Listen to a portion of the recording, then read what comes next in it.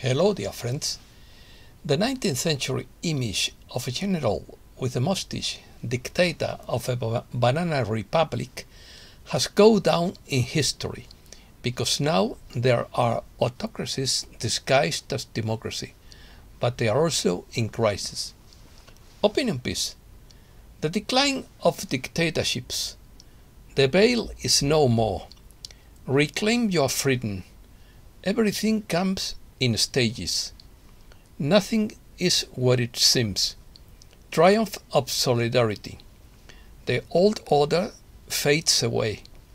Autocracies masquerading as democracy. Let's start. Steve Biko says the day of the dictators is over. The only problem is that people are slow to realize the danger they face. As Matthew said, the day of the dictators is over, and so is the day of supporting those dictators for selfish reasons.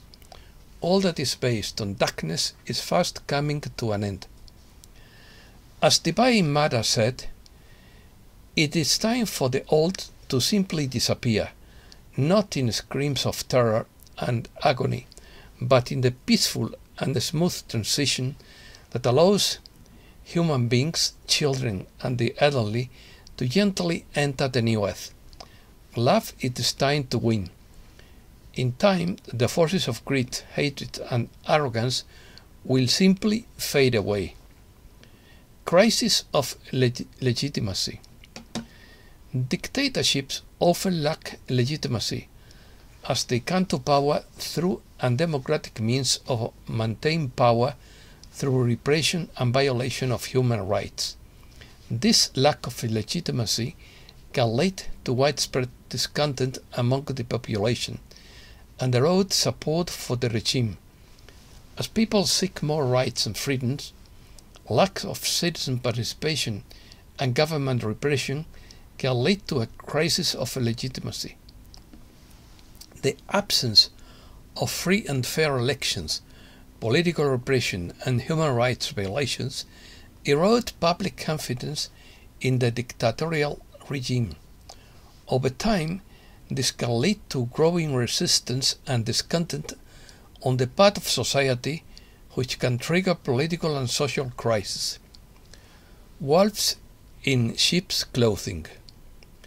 But the most dangerous case is autocracies disguised as democracy.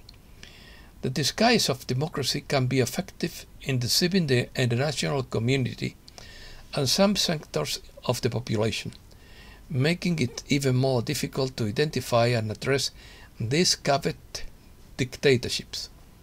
There are cases in which authoritarian regimes try to present themselves as democracies. These procedures often use tact- tactics to appear as political openness and respect for human rights, but in reality they maintain a tight grip on power and limit the freedoms and rights of the population. These systems may conduct elections, but they are often manipulated or controlled in ways that ensure the regime's continuity in power.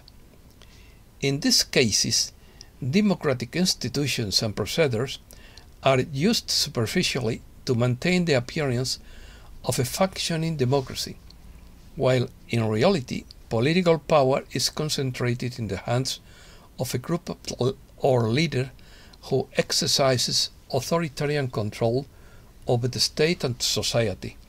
This can include repression of political opposition, restriction of freedom of expression, manipulation of the judicial system, and the use of force to stifle dissent. Reset News.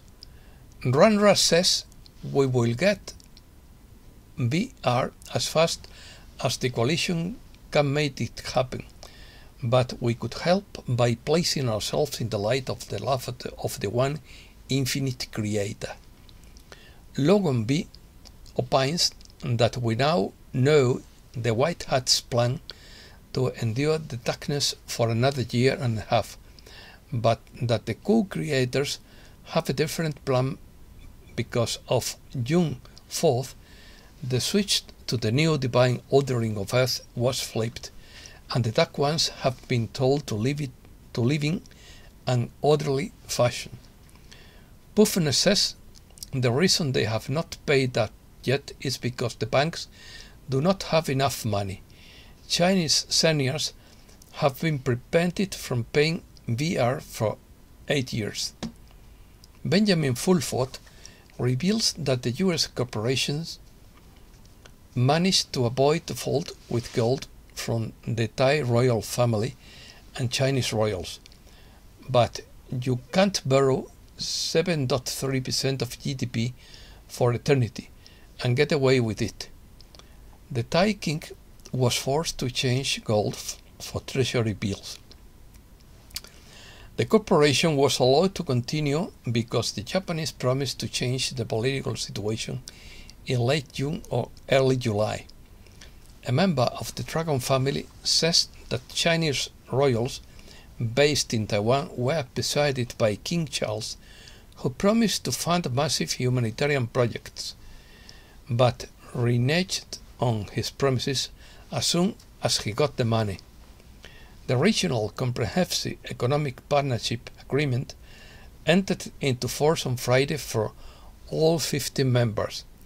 This means that the Chinese were handed control of Japan, South Korea, Australia, and New Zealand. Elon Musk is in China and doesn't call for Taiwanese independence. He builds factories and businesses in the People's Republic of China and supports cooperation on an equal footing. From these actions, it can be understood that sensitive forces are preparing Musk for politics. The Treasury floods the market with a trillion dollars in short term Treasury bills called T bills that are used to finance government operations. This is a computer generated transfer of money from one ledger to another and will take liquidity out of the financial markets. The white hats are not taking all this lying down. A series of emergency meetings are being held in Canada, China, Japan, and the US and elsewhere. According to Watcher Guru, 41 countries have expressed interest in joining the BRICS alliance and accepting the new common currency for cross-border transactions. 16 Asian countries ready to accept BRICS. ASEAN countries will use native currencies for cross-border deals. Asian is a, a 10-country bloc that includes Brunei, Cambodia, Indonesia, Laos, Mal Malaysia, Myanmar, the Philippines, Singapore, Thailand, and Vietnam. The Gulf Cooperation Council follows ASEAN's example.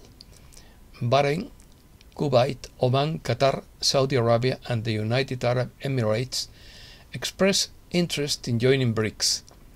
Saudi Arabia will finance the new BRICS Development Bank. Dutch farmers warned Prime Minister Mark Rutte that protests will continue and that they have the support of millions of people. People in China are rebelling against the CCP machine. Venezuela faces total collapse according to B. Venezuela is in a state of total chaos. The economy has collapsed with 436% inflation out of control. Venezuela has the largest oil reserves in the world, but despite this, its people are starving. There are shortages of petrol and medicine. It has defaulted on its debt obligations and the currency has been devalued three times, leading to the dollarization of the economy. Plans are already on the way, whatever happens in the coming days. We are at the beginning of the great global awakening project leading to a golden age. But for now, we are in the collapse of the power structures of the dark side. After the great collapse of 2023 and 2024, the golden age of 2025, 26, and 27 will begin. A fake invasion would be exposed, leading to the declassification of technology. Nothing is what it seems, and every action has a meaning. Everything comes in stages. Everything you are seeing is staged. Everything will backfire. This is called game theory operations. It unfolds the revelation as a tangled web, connecting the dots through various layers of power. As the summer heat intensifies, so does the pressure on those who have operated in the shadows. The moment of truth and justice is at hand, with revelations destined to send shock waves through the corridors of power. Hold on tight as we enter the final phase of the devolution plan. Prepare for the ultimate revelation as the truth and the plan comes to light. Messages Archangel Michael through Lee Digani. The veil is no more. There was a veil that was lowered. The veil is now dissolved. You have become so accustomed to see the veil that you believe it is still there, like the baby elephant that has a chain put around his foot. And when they take it off, you think it is still there. Know that the veil has dissolved. The veil is no more. Jesus through John Smallman. The time to claim your freedom is now. Freedom is your sovereign right as divine beings, and by living and expressing it, you honor yourselves and all others. You are all completely free beings, created free because love, of which you were created and which is your true and divine nature.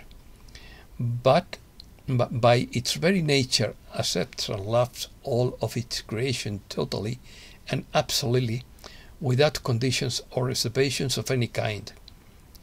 Separation is utter nonsense because there is only the infinite one, the divine energy field in which all that has been created or is or will be created is eternally enfolded in that one.